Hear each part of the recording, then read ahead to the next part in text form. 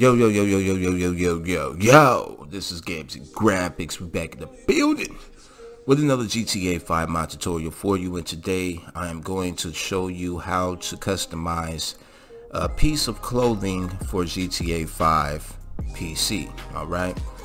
This is pretty much, um, we are going to um, add a design to a t-shirt for Franklin. Alright.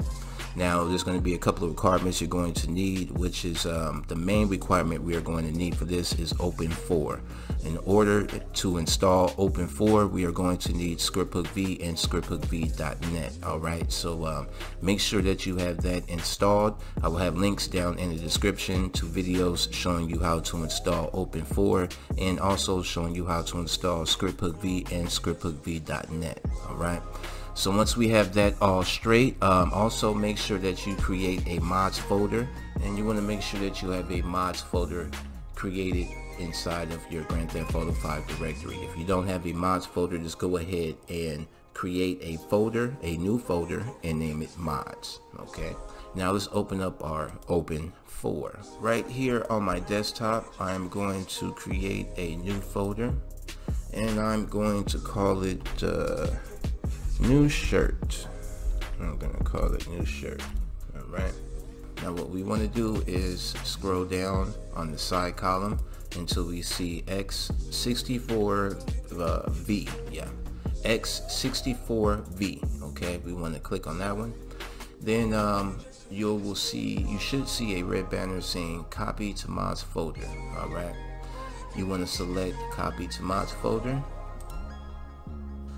Alright, once that has been copied to mods folder, uh, what we're going to do now is select models, then select CD images. And we're going to scroll down to streamed peds underscore players. Alright, select that one right here. And since we are going to be choosing Franklin, we are going to select player underscore one folder. Once you open that one up, what we want to do is scroll down till we get to upper underscore 004 underscore u dot ydd okay? Drawable dictionary. You want to take this one that I have highlighted right here. You want to take that drag that to the folder that uh, we just created because we're going to need to have a new folder created to drag our files into okay? Alright since um, we have that one right there let's go ahead and scroll all the way down.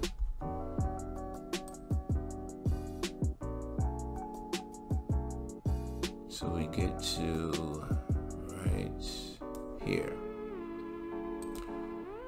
upper underscore diff underscore 004 underscore a underscore uni dot ytd.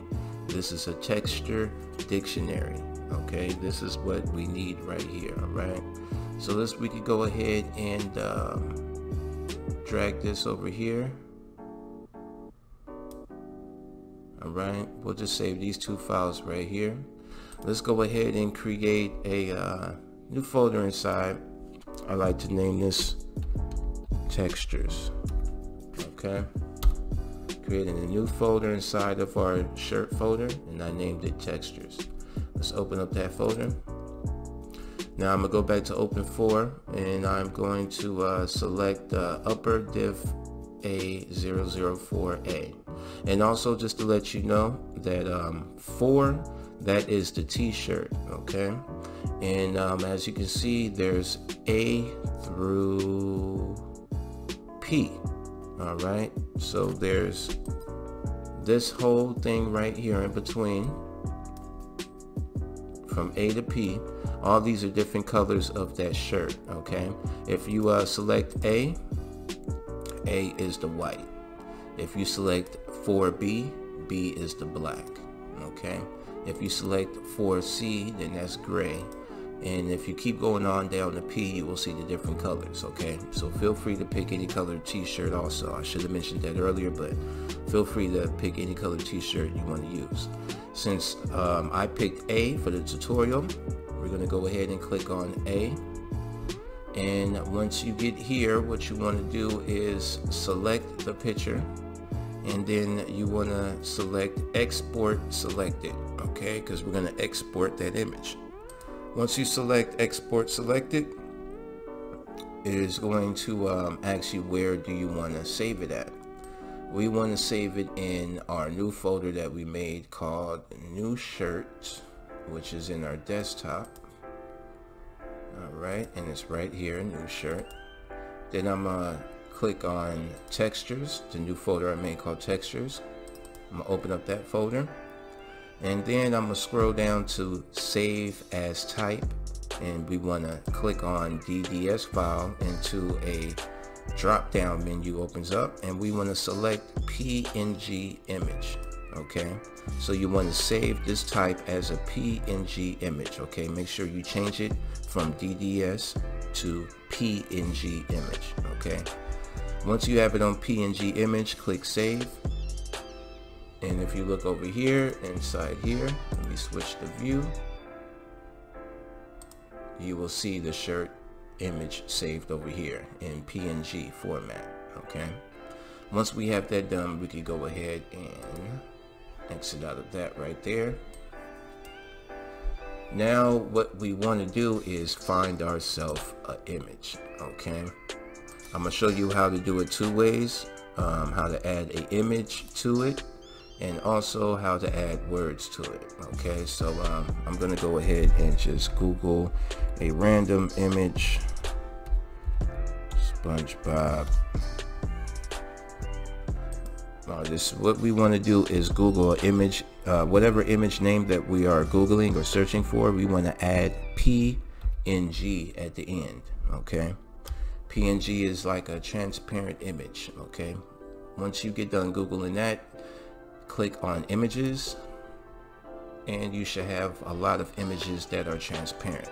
There will be a lot of them that uh, will have checkerboards behind it and if you try to drag and drop it from the search, you open up the picture, it will still have the checkerboard behind it. We do not want that, okay?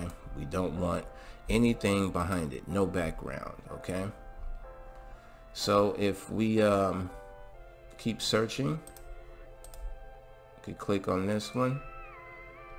And you might have to go to the website where they have it at and see if they have uh, some free downloads for you. Alright like this website I just clicked on they have um, SpongeBob PNG images. Now uh, I can just pick the one that I want. I'm just going to go ahead and select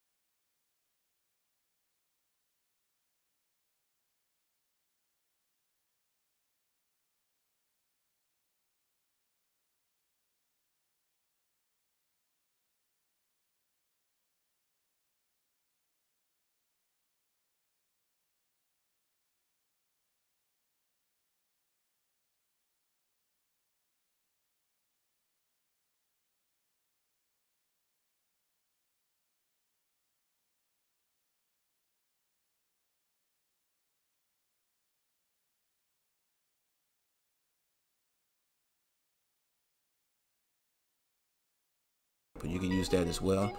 But what I like using is pho pho Photopea. Photopea.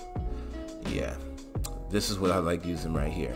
I would definitely um, leave a link down in the description to the website. Um, it's free to use. So um, once you get to this website, click on File, and then click on Open. Now you want to open up. Um, you want to open up that uh, folder that we created earlier with the shirts and uh, the images into it, which is on the desktop. And I believe that is a new shirt folder.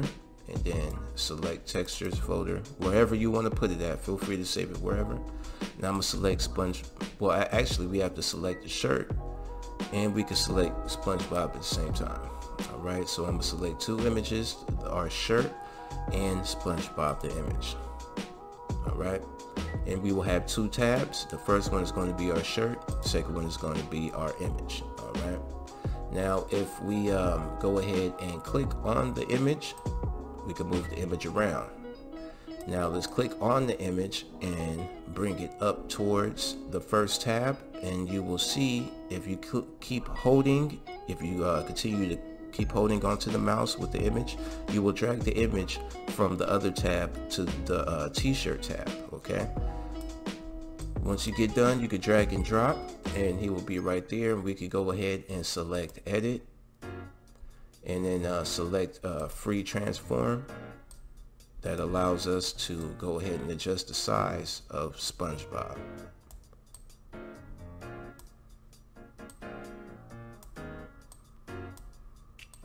Alright, you don't want them too big, but um, it's all on you how big you want them, okay? I'm gonna have them about this big. And just give you a quick run through um, on the t-shirt template. This will be the front of the t-shirt right here. This will be the front and on the left side will be the back okay? Um, these are the arms right here where you see the skin will be the arms and right above the arms will be the shoulders okay? I'm not sure which one is right or left but we are going to tag those uh, with R and L before we um, install this t-shirt and turn on the game and we are going to find out together which one of these shoulders is right and left. But for the shirt part, for the front and back, the right side where SpongeBob is at is the front and on the left hand side this is the back okay? So we added an image right here. Um, we you know we uh, moved it where we wanted to right now that it has placed where uh, we want it to be placed at. You can go ahead and add a text with um, the tools that they have here in this program but I like to use a different program.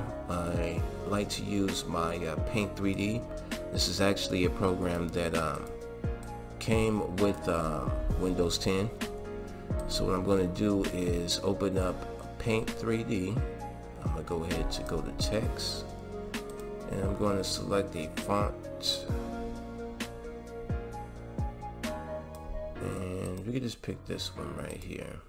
We don't need it too big neither. Um, black will be okay for the color. And we just want to put anything that you want to. I'm going to put SpongeBob. Right once we have that all done right there I could go ahead click canvas transparent canvas and now I could save it save and I'm going to put that inside of my new shirt and textures. Alright put that in there. Now that that has been created and saved I can exit out of that. Go back to Photopea and click file open open up a SpongeBob name that we just created and it is transparent. Oops. It is transparent. So I just click on the image move the image up to the first tab and pull the image down and release. And we got SpongeBob's name. Now that we have it inside here we can double click on it. Just like uh, has the same functions like um, in Photoshop where we could add uh, gradient, stroke, satin, color overlay, you know, things of that bevel. Um, what I'm going to do is add a color overlay to it, make it yellow, and then I'm going to add a stroke to it, and uh, make that black, there we go. Now looks just about good, a good enough stroke right there. Um, want to bevel a little bit, could adjust that, no, I, I like it just like that. I'm to click image, free transform, and get that a little bit smaller. There we go.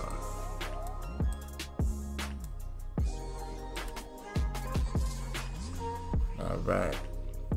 Now, if you're all done adding images or words to uh, your template right here, what we want to do next is um, let's open up our t-shirt go back to our t-shirt folder which is right here.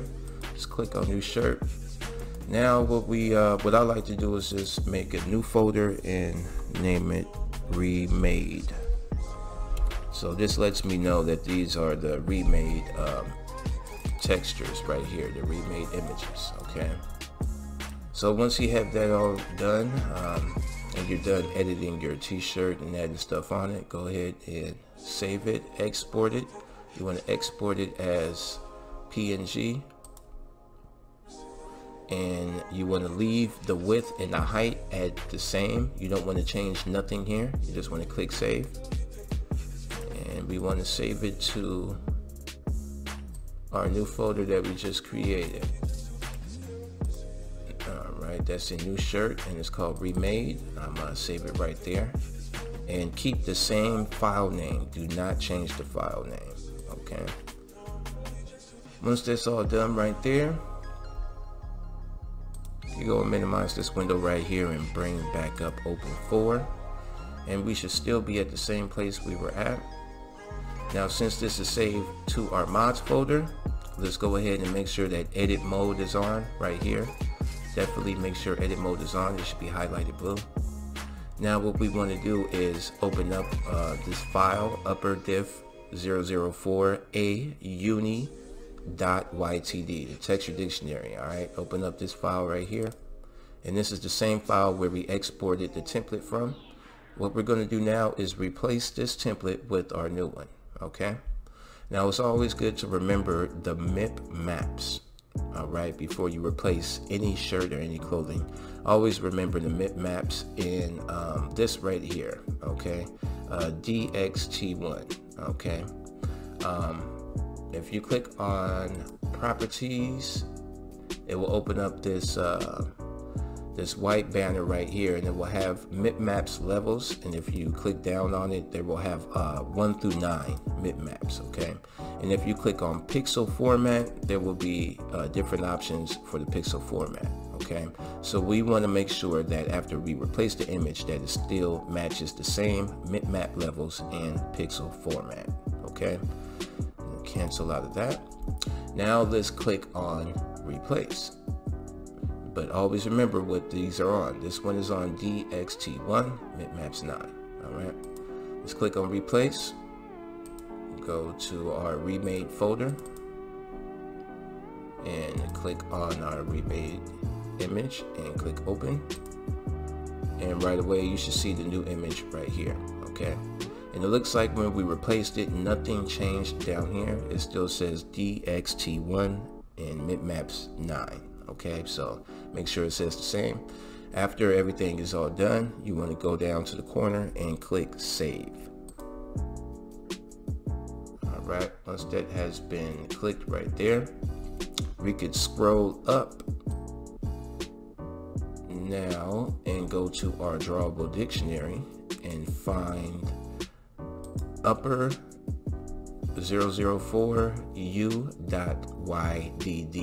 okay I'm going to click on that image now.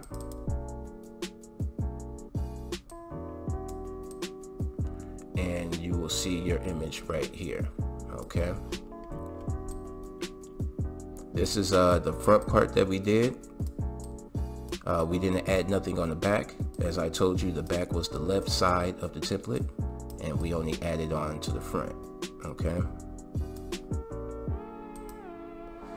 Now after um, that has been um, added right there, if you want to save it and save that file, what you want to do is scroll back down the list till you get to texture dictionary and you want to select upper diff 004 a U N Y. All right, you want to select that one. Let's open up that one just to make sure. Yep this is ours. And we can go back to our t-shirt folder. Click t-shirt and we are going to replace this YTD file with um, uh, actually we could go ahead and um, this I, I, like to make a couple of new folders just to make sure I don't um, mix anything up. And what I do is make a new folder named original okay? So I'm going to take the original files that we did earlier and I will go ahead and just copy those and drag a copy of those into the original folder okay? That way I have the original if I wanted to use that template again and um, I could go ahead and use um, the blank template again and add whatever images I want to it okay? So from right here we could go into OpenIV and drag and drop that texture dictionary the upper diff 004a uni. We're gonna drag and drop that right here and just copy and replace the one that we have earlier now if we click on the upper diff 004a uni inside of our t-shirt folder,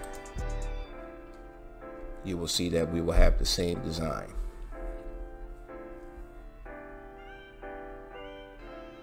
And it's right there, okay? Now the only way that we can import our image to the um, texture dictionary is by um, having the file in OpenIV already okay? We won't be able to um, eh, we won't be able to import an image to the file outside of OpenIV the file will have to be inside OpenIV you will have to open up that folder first and then click on replace in order to import a image to a file inside OpenIV okay? Now once that's all done we can go ahead and close all archives. Close OpenIV minimizing the windows that we have and run the game. Alright when we load in the game we are going to need a trainer or mod menu. I'm going to be using simple trainer. Go ahead to uh, model spawning scroll down till you see close menu and um, let me take off my alright. And let's go to upper. Now we want to go down to the t-shirts which I believe is number four or five actually. And there we go. I got my shirt right here. Um, let me remove my chains so you can see it.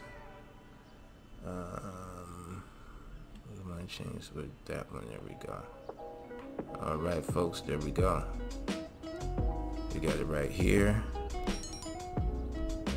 let me see if I can get a better view. And there we go, folks. We got our SpongeBob shirt right there that we just created. Um, everything looks pretty good image-wise. Um, doesn't look stretched out or anything like that. And uh, yeah, that's pretty much how you access it, y'all. So um, if this um, tutorial helped y'all, you know what I mean, to um, understand how to uh, make your own t-shirts or clothes, um, the same type of process could go for pants if you wanted to add images to pants or to hats, for example. Um, you just want to follow kind of like the same procedure that I showed earlier. But um, if this helped y'all out, smash that like button for your boy. Definitely subscribe to the channel if you haven't already. And also share the video with your friends that are in the modding GTA 5. This is Games and Graphics. Me and Big Ballin' Ass Frank. We are out of here till next time, y'all.